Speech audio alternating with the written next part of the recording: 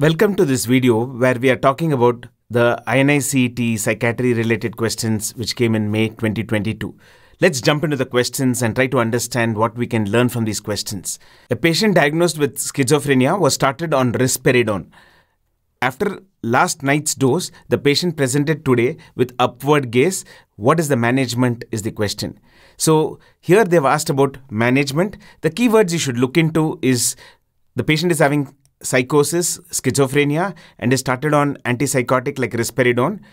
A single dose has been given, and he presents the next day with upward gaze palsy. So, what is happening? So, it looks like some kind of an acute extrapyramidal side effect is happening, right? What exactly is happening here? We are talking about acute dystonia, which is happening. Now, what is acute dystonia? Acute dystonia is what happens when a group of muscles are kind of contracted. Depending on which group of muscles we are talking about, you could have the oculogyric acute dystonia, you could have torticollis, you could have truncal dystonia, you can also have the orolingual dystonia. You can sometimes end up having even laryngeal dystonia, which could be very lethal because of the asphyxia. So, this, in this question, the person is having upward gaze palsy. So, what are they talking about? They're mostly talking about oculogyric crisis in this person who has taken risperidone. So, now that you identified it, how do you manage it? Basically, the management of this condition is by giving two things. One is antihistaminics or anticholinergics, preferably in injectable form. So this is where one of the commonest medication or treatment we use is called as promethazine and promethazine is an antihistaminic which can be extremely helpful in these patients. In fact, within about half an hour to one hour of giving the injection, the patient might completely be better and feeling much, much better. So that's the advantage of diagnosing the right diagnosis and giving the right treatment. Please remember, you don't need to be a psychiatrist, but you might be in your emergencies and casualties or in medical OPDs seeing such kind of patients who might come with dystonia, which is acute in onset, most probably started on an antipsychotic. So diagnose it as acute dystonia and consider giving promethazine, which could be helpful in these patients to manage this condition.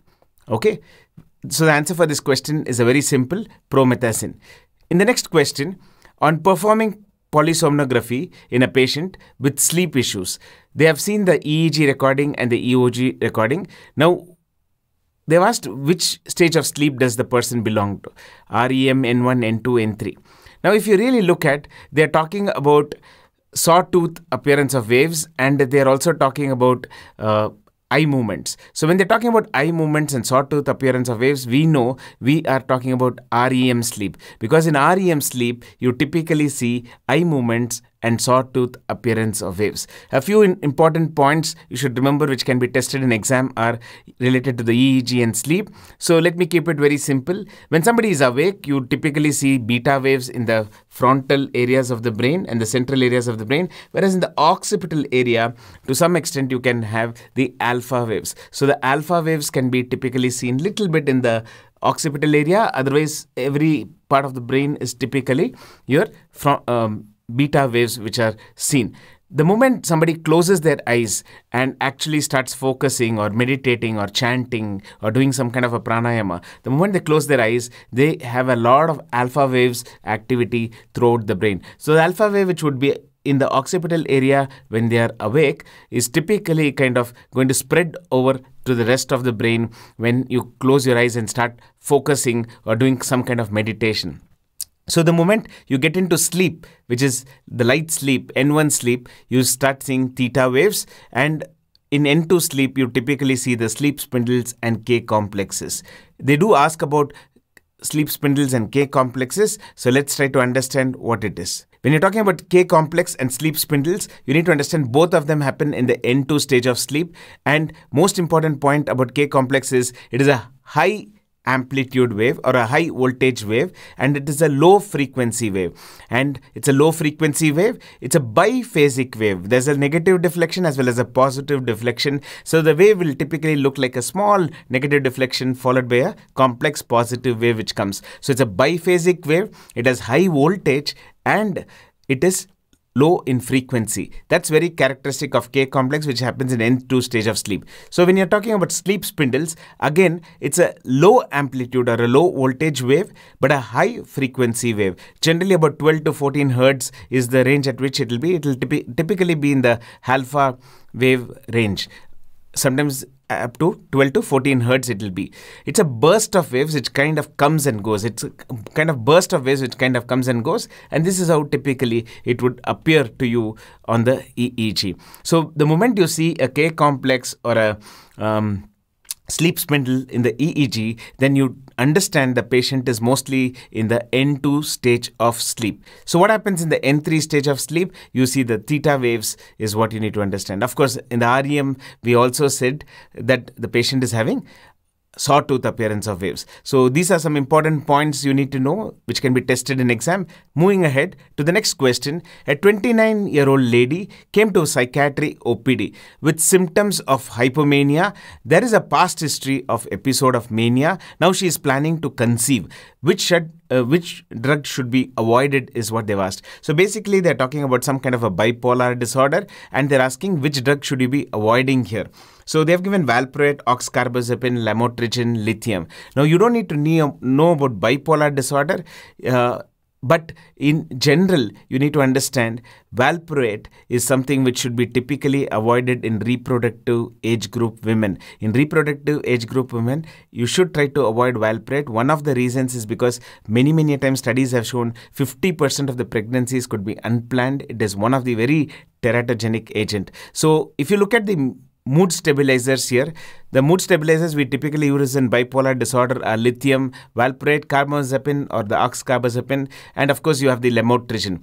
The most important drugs we typically avoid are valproate and carbamazepine for sure. Of course, oxcarbazepine being another drug similar to carbamazepine that is also tried to avoid it. You need to know that in your pharmacology you would have read about lithium causing Ebstein's anomaly. That's also sometimes asked in exam. So don't forget lithium can cause Ebstein's anomaly. But can you give lithium in pregnant women? Over years, what they have noticed is the rate of uh, Ebstein's anomaly is not very high in patients who are taking lithium. So they know that maybe you can still go ahead and give lithium if lithium has to be given and you should take some precautions especially just after the delivery the fluid levels will change. You need to avoid lithium toxicity. So if you have to give lithium you can still consider giving lithium but valproate and carbamazepine are typically avoided. So the answer for that question was valproate right? So which is the safest mood stabilizer we have? The safest mood stabilizer we have is lamotrigine lamotrigine is the safest mood stabilizer we have. So these are common questions which are asked in this area. Which of the following is false about bipolar disorder? Which of the following statement is false about bipolar disorder? So what are these statements? It, it most commonly affects the age group of 35 to 45. Type 1 is common in both genders, whereas type 2 is most common in females. Prevalence in the general population is about 1% to 2%. Suicide attempt is about 5 to 10% are the statements which are given. So before you kind of answer this question, let me tell you some brief aspects which will make you answer this question easily. So if you look at mood disorders, few interesting points you need to know is prevalence, gender, age of onset and suicide rates.